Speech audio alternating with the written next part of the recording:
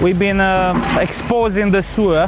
We're breaking the concrete around the sewer and then with the ball skip we take all the muck out. The first four rolls of the blocks, some pins in between every single block. It was needed to cut them all uh, with the diamond petrol saw and cut them all around the joints. Then we have a grab with the machine and then we have a special uh, wedge like which is open it with the ratchet and open it.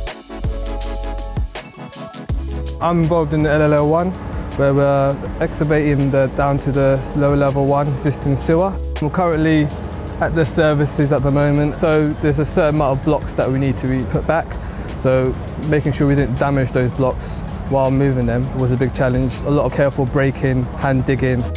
Some of the blocks that have been removed, they're going to a nature reserve. So basically we just lift them by the crane onto the barges and they're sent away down to East London.